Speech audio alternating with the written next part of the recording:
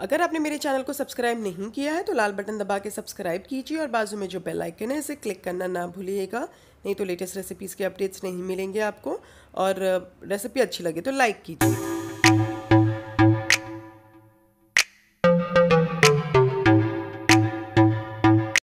अस्सलाम and hello to all my viewers मैं Zulekha Arfat जुलेखाज kitchen से। चलिए, आज हम बनाने जा रहे हैं बड़ी ही डिलीशियस और चटपटी डिश जिसका नाम है चिकन मैगी।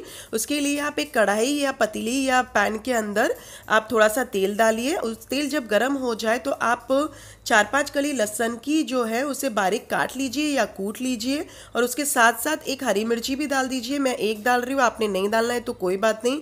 या फिर आपने ज़्यादा डालना है आप हिसाब से डालिए अपने हिसाब से।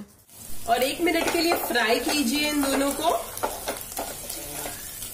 एक मिनट हो जाता है तो मैंने ये दो मीडियम साइज़ प्याज को छुंदा किया है, बारीक, और उसको भी डाल दीजिए और फ्राई कीजिए। और फ्राई कीजिए जब तक कलर चेंज ना करना शुरू कर दे प्याज, तब तक फ्राई कीजिए। कलर हो, चेंज होना स्टार्ट हो गया है तो मैं अब इसमें डाल रही हूँ चिकन 100 से 150 ग्राम चिकन डाल दीजिए। मैंने थोड़े मोटे मोटे मतलब इस तरीके से पीसेस रखे हैं एकदम भी मोटे नहीं और एकदम भी बारीक नहीं कीमा टाइप नहीं। तो अब मैं इसे फ्राई कर रही हूँ इसमें। नमक डालिए स्वाद अनुसार। टमाटर भी डाल दीजिए ये मैंने दो छोटे बारीक काट कर डाल दिए हैं जिसकी छील भी निकाल ली है। एक से सवा छोटा चाय का चम्मच, लाल मिर्ची का पाउडर ये आप कम या ज़्यादा भी कर सकते हो। ये कश्मीरी है मेरा। वन फोर्थ से आधा टीस्पून गरम मसाले का पाउडर और दो छोटे पैकेट मैगी के मसाले के। मिक्स कीजिए इससे अच्छा इसमें आप डायरेक्टली चिकन ना डाल के बॉइल्ड चिकन भी डाल सकते हैं, कोई बात नहीं।